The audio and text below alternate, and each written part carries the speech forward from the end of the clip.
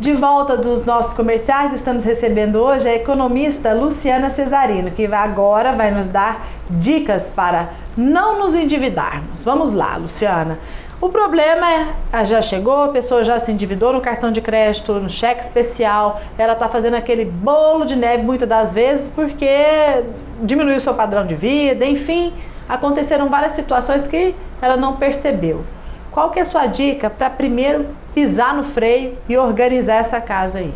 É exatamente isso. Primeira coisa é você controlar suas finanças, cortar todos os supérfluos, todos coisas que você paga para fazer que você pode fazer em casa, diminuir o supermercado, diminuir uh, gasto com combustível, cortar viagens. Como que ela deve fazer? Ela abre um caderno e vai marcando? Como é que funciona vai, vai, na prática? Planejamento. Planejamento. Você tem despesas que são fixas e despesas que são variáveis. Então, as fixas você tem que comprometer do seu salário ou da sua renda aquele valor já é garantido. O outro, a segunda ponto é o valor da parcela da tua dívida, que é o que é suficiente para você sair dessa situação. E o terceiro vem as despesas variáveis. É nessa que você vai ter que dar uma economizada, que você vai ter que passar por algum apuro, ou você vai ter que realmente segurar a situação. É, Cortar é o que mesmo, né? É. Cortar radicalmente. É até olha, assinatura de revista, de é. jornal, é. tem que. Olha, sou expert nisso, hein, gente? É. Ô, ô, Luciana, deixa eu te fazer uma pergunta. No caso da pessoa endividada, ela pode, antes de quitar essa dívida com o cartão de crédito, ela tem direito de cancelar esse cartão? Tem. O mesmo cheque especial? Tem, porque a dívida dela continua lá. Então ela não vai cancelar o cartão e cancelar a dívida junto. Mas qual é o procedimento? Porque existe uma dificuldade incrível. Não, é, cancelar conta é de banco e é cartão de crédito, querida. É, é missão impossível. Eles fazem de tudo para que isso não aconteça. Então você já sabe que vai ser um parto você conseguir cancelar mas você tem direito como consumidor. Então você tem que ameaçar aí uh, para os órgãos competentes, para o PROCON, para que seja feito aquilo. Agora é legal você negociar a sua dívida, porque se você deixar a sua dívida aberta no cartão, ela vai aumentando, aumentando muito. Então é melhor você cancela, negocia a dívida em parcelas menores e ok.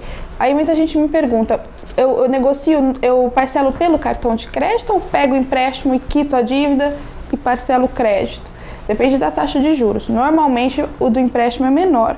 É, tem... o empréstimo pessoal é bem menor. É, normalmente sim. Mas tem que dar uma olhada. Às vezes a diferença é muito pouca, ou às vezes é, compensa você quitar tudo de uma vez e, e, no crédito pessoal você pode pagar até em 36 e vezes. como que a pessoa pode, no caso, brigar com os juros, né, Luciana? Porque é juros em cima de juros, você não dá conta. Então, tem gente que é mais ousado. O que que faz? É, deixa a coisa explodir mesmo e depois deixa ir para o Serasa e tal.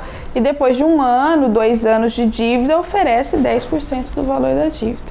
Agora, uma coisa que eu aconselho aos consumidores é, isso dá dor de cabeça, mas quem, quem é afim de fazer, faz. Eu acho meio arriscado, né? Eu aconselho todo mundo brigar pela anuidade, porque a anuidade não é uma taxa que existe, não é um custo. Não, é, não, é, não tem custo algum, né? Não, gente? é uma cobrança indevida, na minha opinião. Legal.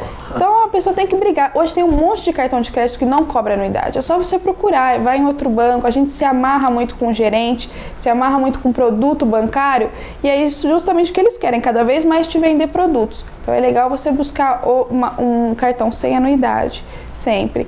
E, e, também lembrar a todos não pagar o mínimo, nunca, porque o valor que você paga no mínimo Juro, some. É no outro mês você está devendo igual até mais. Então, se não tem dinheiro para pagar tudo, não paga, parcela ao invés de pagar o mínimo. E como fazer para negociar? Porque muitas das vezes a pessoa é. que está naquele problema, naquele momento, se o cartão de crédito ou o gerente do banco, sei lá, é, negocia já com ela de imediato e ela parcela, às vezes não chega a ficar nessa situação como a, entrevista, a mãe do entrevistado está perdendo até os bens. É, exatamente. Duro é que eles não negociam né, com essas pessoas, espera, parece que quer ver a coisa explodir ou Vê, Quer lá. ver a pessoa desesperada, porque a hora que a pessoa está desesperada, o poder deles aumenta muito, né? Porque... É verdade. Pois é, pois dona é, Luciana, desacelere e não gaste tanto. O negócio é o seguinte, gente, tem pagar vista, não tem, não parcela. Ah, eu também, eu acho que é o melhor. É o melhor, é o melhor. É uma forma melhor de se controlar. Ô, minha querida Luciana, grande ah, economista, querida. amei você Obrigada, ter vindo aqui. E acho que você deu umas dicas boas. Gente, Sim. tenta evitar cheque especial, cartão de crédito, que olha, não penso que a crise acabou não, hein? E de repente a gente faz uma íntima com a gente, não é, Luciana? aí. Tchau.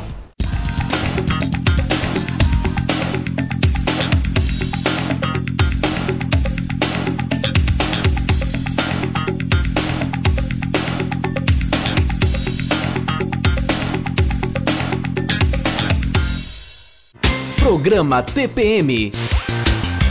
Oferecimento Fisioforma Estética de Resultados. Clicou, vendeu. O seu classificado digital.